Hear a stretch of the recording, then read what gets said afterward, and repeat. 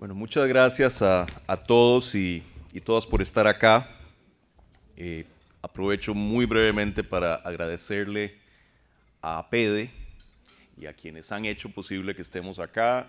Eh, aprovecho en particular para agradecerle a nuestra querida Bati, a doña Mercedes, eh, que fue sin duda quien, quien más nos estimuló a que tuviéramos esta, esta actividad, pero también a Mariana y a todos los demás que han hecho posible que estemos acá. Eh, a mí me toca dar las malas noticias.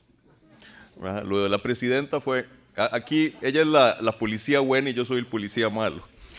Eh, vamos a ver, no, no, es tan así. Miren, eh, para empezar, como lo decía la, la expresidenta Chinchilla, las, los factores de riesgo no son homogéneos para una región como América Latina. Ya por los años 60, quienes tienen más edad se acordarán, había un, sociólogo eh, francés que escribió un libro que se llamaba Las 20 Américas Latinas.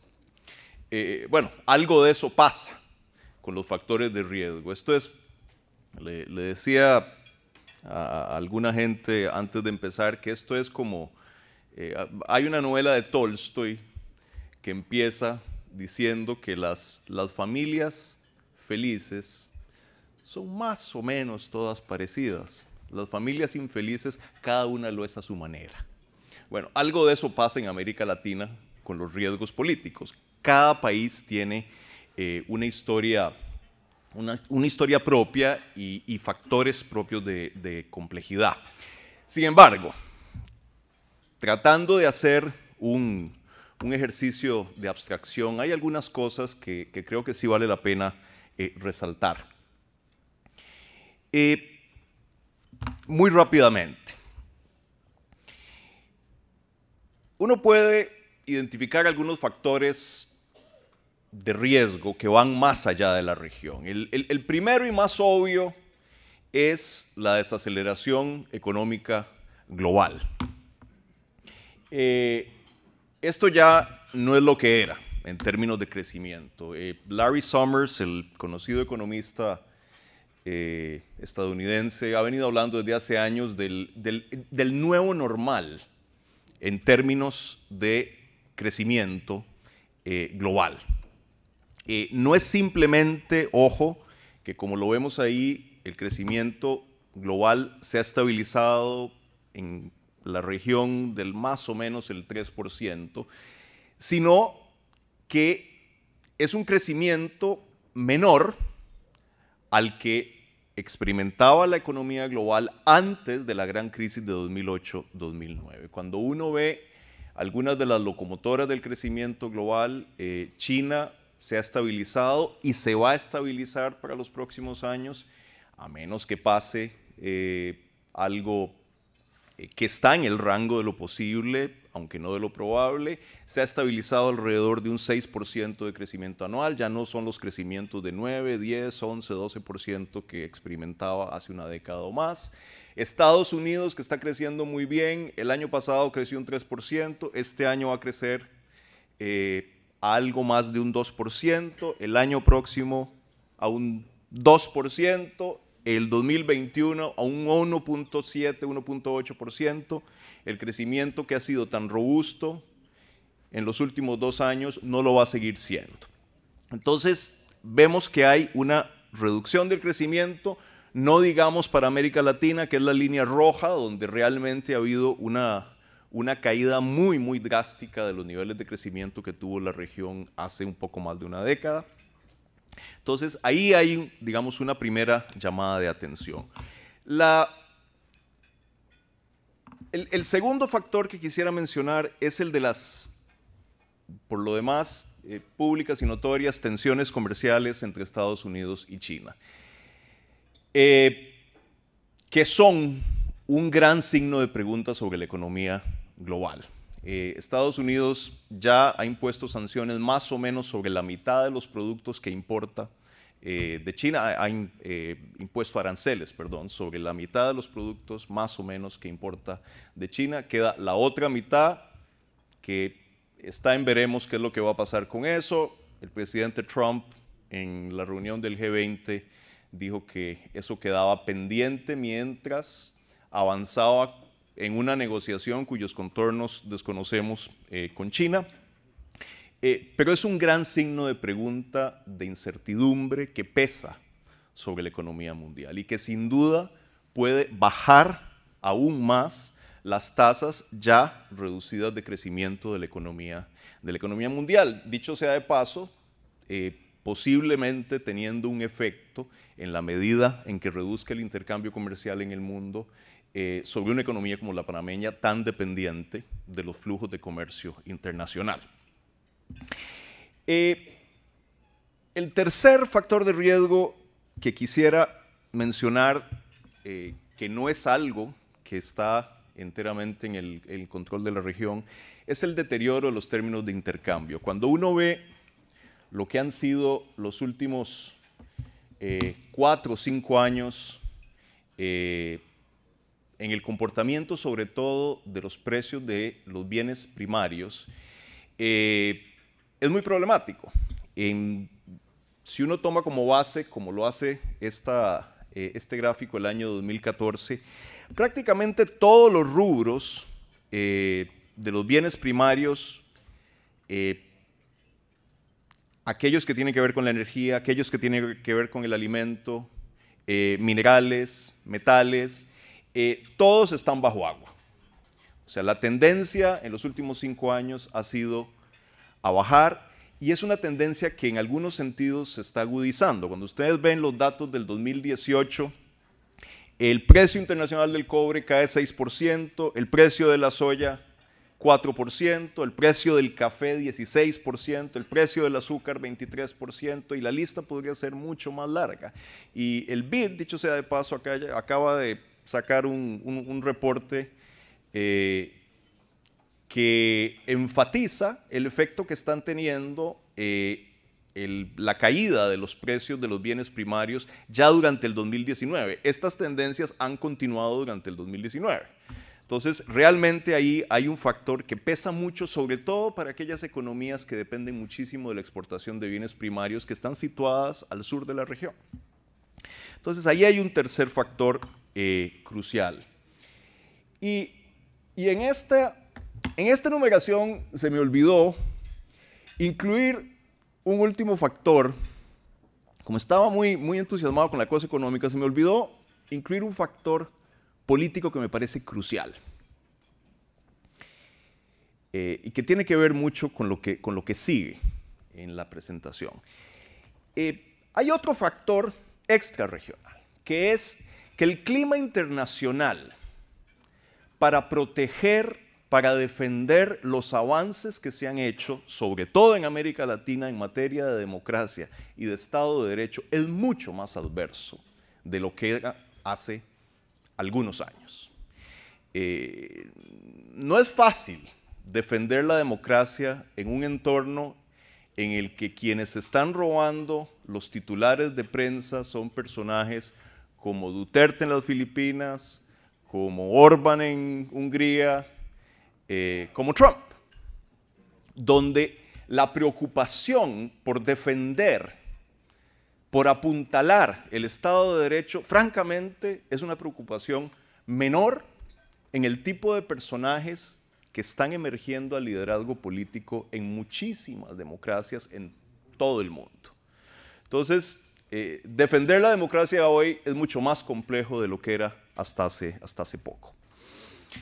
Ahora, este elenco de riesgos eh, extrarregionales se complementa con una lista todavía más larga y compleja de riesgos eh, internos a la región,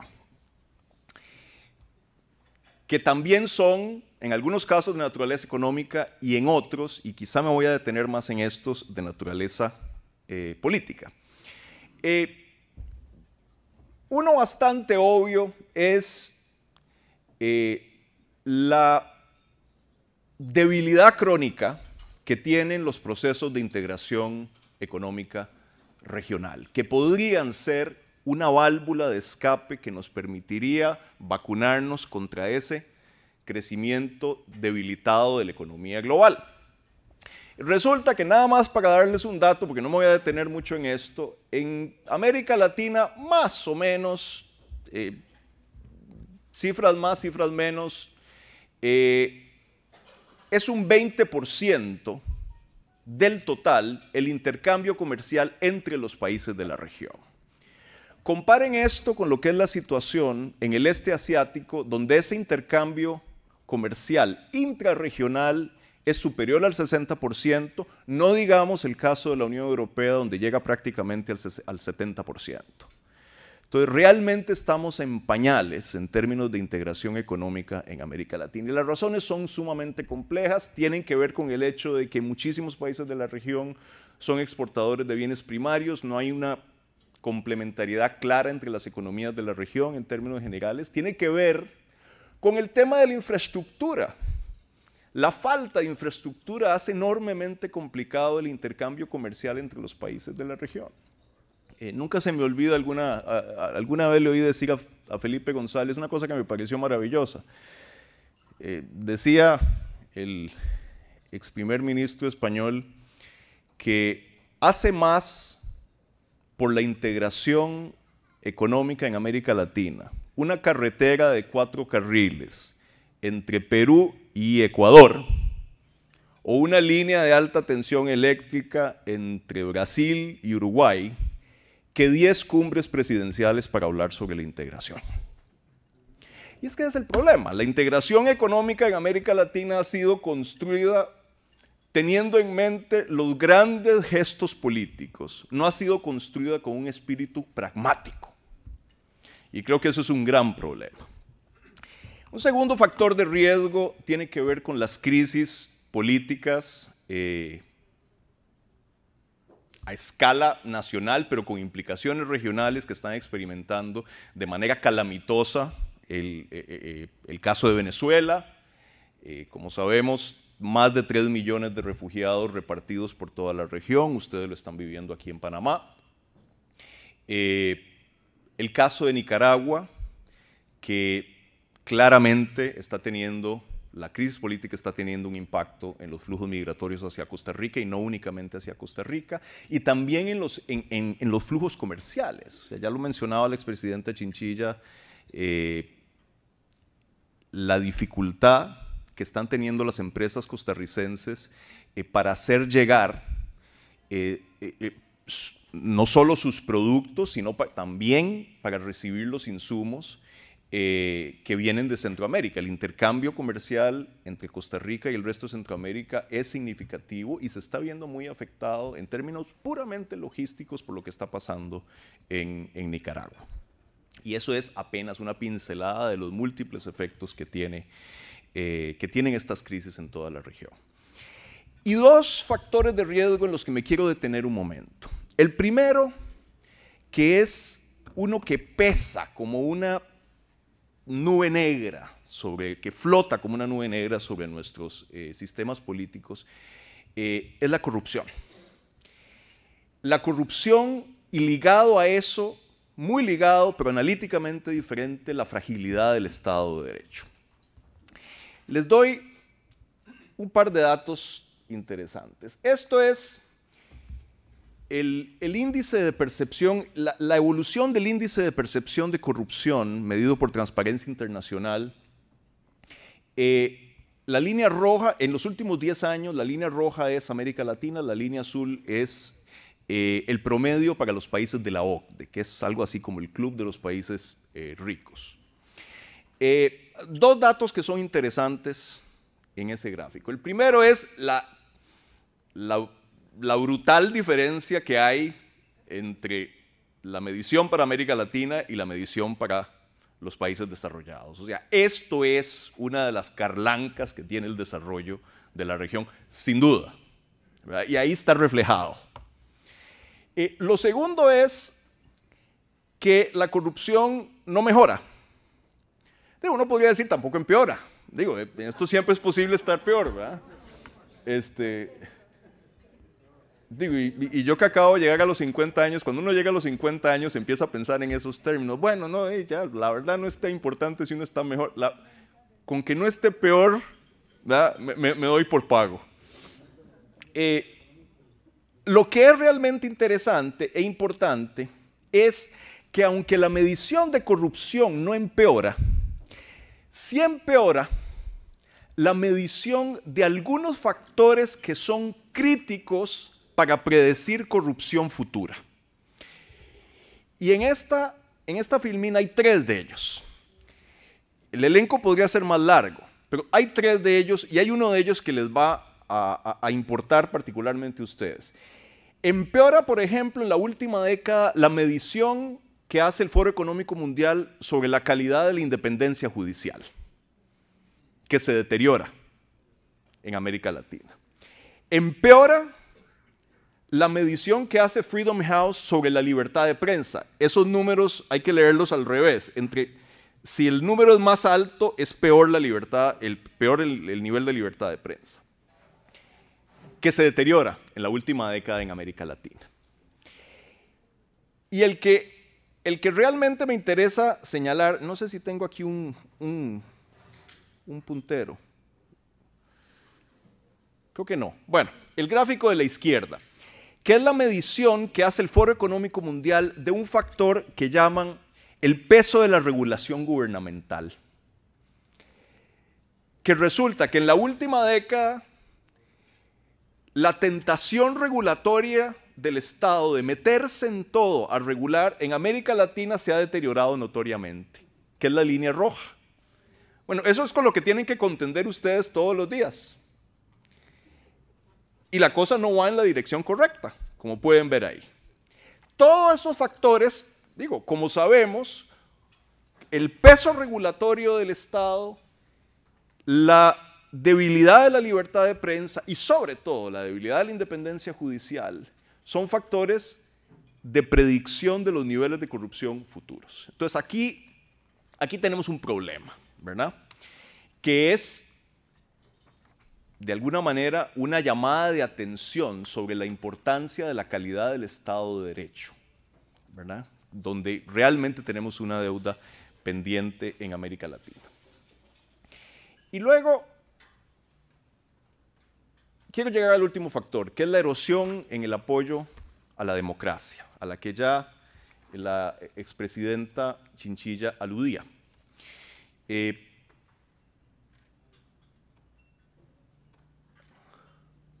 sí, acá. En la última década ha habido una caída en los niveles de apoyo a la democracia eh, entre la población en América Latina, que es la línea de arriba. Hay una caída significativa. De, en la última década más o menos ha caído 13 puntos. Cuando le preguntan a la gente eh, si cree que en cualquier circunstancia eh, un gobierno democrático es preferible, ese porcentaje de población em, ha bajado significativamente. Pero lo que es interesante es que no necesariamente sube el porcentaje de gente que se manifiesta a favor de un régimen autoritario. Lo que está subiendo son los indiferentes son los que dicen, me da lo mismo. Me da lo mismo un régimen democrático o un autoritario mientras me resuelvan los problemas. Ese es lo que e, esa es la línea verde que está entre el círculo rojo. Ese ha subido casi un 10% en la última década. Lo cual, digo, ahí tenemos una llamada de atención muy seria. Como llamada de atención es lo que está en este gráfico. Una de las características más fregadas que están desarrollando de manera crónica nuestros eh, eh, sistemas políticos en la región es la debilidad, la licuefacción de los partidos políticos. Cuando le preguntan a la gente, si usted tiene que votar en elecciones este domingo, ¿por qué partido votaría? Casi un 60% de la gente dice, lo último que menciona es un partido político. La gente le dejaron de importar los partidos políticos. Y después vamos a ver que eso es uno de los factores, digo, más allá de las, podemos tener una larga conversación sobre las causas, sobre las causas de esto. Eh, más allá de las causas, lo que sí les puedo decir es que esta debilidad crónica de los partidos políticos hace mucho más probable la elección de personajes de fuera del sistema político que casi por definición son impredecibles, cuando menos. Cuando se portan bien son impredecibles, ¿verdad? Y, vean, por ejemplo, a mí me resulta interesante el caso, el caso de Brasil, que solía tener partidos políticos. El sistema, político, el sistema de partidos de Brasil está en un estado de licuefacción total. Ese 73% de gente que dice que no le importan los partidos políticos tiene mucho que ver con la elección de Bolsonaro. ¿Verdad? Y aún más tiene que ver este gráfico que me parece potentísimo para explicar lo que está pasando en América Latina. Resulta que cuando le preguntan a la gente si creen que su sistema político opera en favor de la mayoría de la población o en favor de unos pocos grupos, la percepción es astronómica en América Latina, llega casi al 80%, la proporción de población que responde, aquí el sistema político funciona en favor de los enchufados. Y esa proporción, vean qué interesante, la proporción de población, los dos países que tienen la cifra más alta de respuesta afirmativa a esa pregunta son Brasil y México, que acaban de engendrar la elección de dos personajes muy distintos entre ellos, uno de extrema derecha, el otro de izquierda, que son reacciones contra el sistema político este, este gráfico explica un montón de lo que está pasando en América Latina y le podemos añadir el caso de El Salvador, que está casi a un nivel tan alto eh, donde se ha producido un fenómeno similar. Entonces, esto es una llamada de atención brutal. Responder a esto no es sencillo, ¿ah? porque cuando esa percepción de inequidad en el sistema político está atornillada, como parece estar atornillada en América Latina, revertir esto es tremendamente complicado. Ahora, para que no digan que yo solo malas noticias doy, eh, voy a hablar aunque sean tres minutos sobre las oportunidades que las hay. El crecimiento económico en América Latina eh, sigue siendo raquítico, como lo ha venido siendo ya por algunos años, pero está repuntando levemente, levemente en términos generales y pongo eh, subrayado lo de en términos generales, porque lo que la proyección del Fondo Monetario, eh, América Latina creció un poquito menos de un 1% el año pasado, este año se espera que crezca un 1.4%, el año próximo un 2.4%. El problema es que se nos están empezando a venir las revisiones a la baja de las proyecciones de crecimiento de algunos países muy importantes como México y Brasil, cuya última proyección en ambos casos es de 1.1% para este año. Entonces, ojo, digamos, esto es, una, esto es un interrogante. En principio, el crecimiento económico en América Latina está repuntando un poquito, eh, pero está por verse. Eh, pregúntenme a fin de año a ver ¿Cómo, ha, salido la cosa, porque no es claro. Eh, otro factor interesante, tampoco enteramente claro, pero que merece ser mencionado como una oportunidad, son las mejores oportunidades de financiamiento, a diferencia de lo que era el caso en diciembre. En este momento ya está bastante claro que la Reserva Federal de Estados Unidos no, eh, no va a subir las tasas de interés, lo más probable es que las baje, lo cual de alguna manera eh, crea un menor incentivo para que los capitales se nos vayan, se nos vayan hacia el norte. Eh, y por otro lado está el cada vez más evidente papel del financiamiento chino que crea oportunidades interesantes de desarrollo, todo lo que va ligado a la ruta de la seda, ustedes lo están viendo en el caso del, canal de Panamá. Este, eh, de manera que la región pareciera tener oportunidades más interesantes de financiamiento que las que tenía hasta hace poco tiempo. Eh, hay nuevos y mejores y más sólidos procesos de integración eh, que en algunos casos están emergiendo, en otros están consolidando. Los casos más obvios son el de la Alianza del Pacífico, el 40% de la economía de América Latina está en una alianza que es así, merece ser mencionada porque es uno de los pocos casos de integración que está hecha con un espíritu pragmático. Eh, y hace bien Panamá en estar buscando su acceso a la Alianza del Pacífico la expresidenta Chinchilla hizo un trabajo maravilloso y visionario poniendo a Costa Rica en esa lista que desafortunadamente ha sido eh, desperdiciado por administraciones posteriores, debo decir.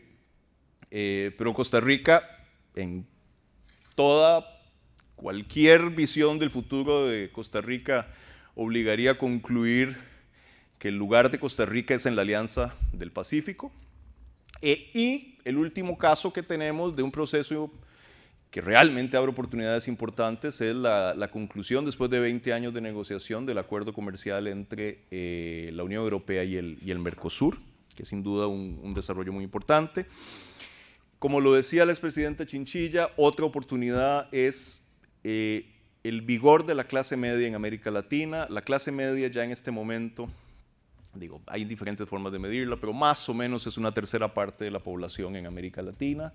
Ya es considerablemente mayor a los grupos pobres, no es menor, perdón, no es mayor como proporción de la población a lo que se da en llamar los grupos vulnerables, que son una especie, digamos, de clase media baja, que sigue siendo el grupo más grande en América Latina, casi un 40% de la población, que es muy, muy, eh, cuya pertenencia a la clase media está colgando por las yemas de los dedos y que es muy voluble al comportamiento de los ciclos económicos.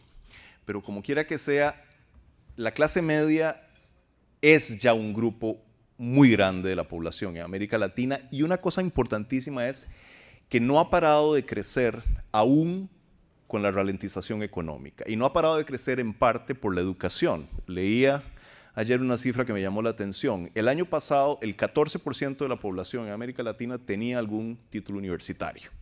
Después podemos hablar si esos títulos universitarios sirven, si son buenos o no. Tenía un título universitario. Abre oportunidades, como mínimo.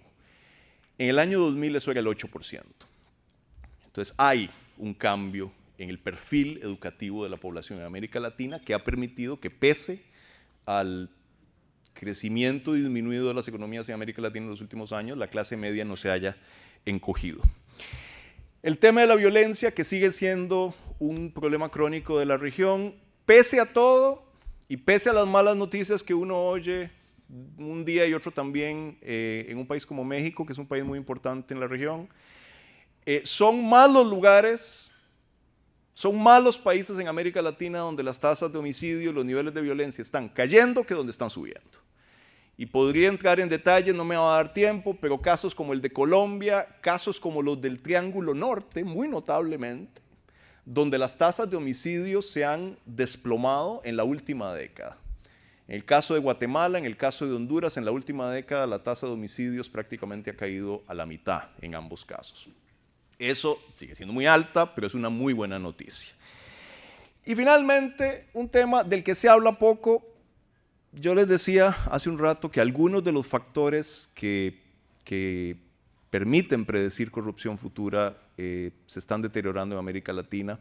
Eso es cierto, pero lo que se habla poco es que a lo largo de la última década, a lo, largo de las últimas tres décadas, perdón, la región ha hecho una enorme inversión normativa institucional eh, de creación de estándares que le permite eh, reforzar la transparencia en la función pública y la rendición de cuentas.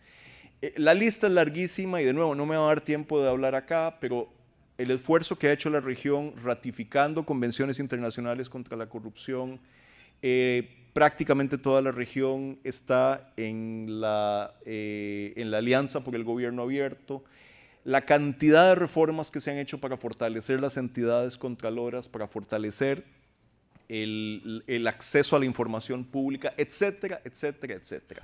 Uno puede decir todo eso es papel mojado y los escándalos de corrupción lo demuestran. Yo pienso exactamente lo contrario. Yo creo que es justamente la aparición de todos estos escándalos de corrupción que se hayan ventilado lo que está empezando a mostrar el éxito de toda esa tarea de transformación institucional que ha hecho la región durante la última generación.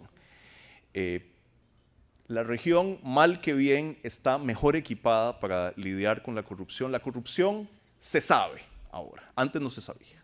Y creo que eso es un gran, un gran progreso. Eh, yo quisiera dejarle la palabra al expresidente Chinchilla por un par de minutos para que ella cierre con una reflexión final sobre, ahora que hemos hecho este repaso, qué hacer. Muchas gracias.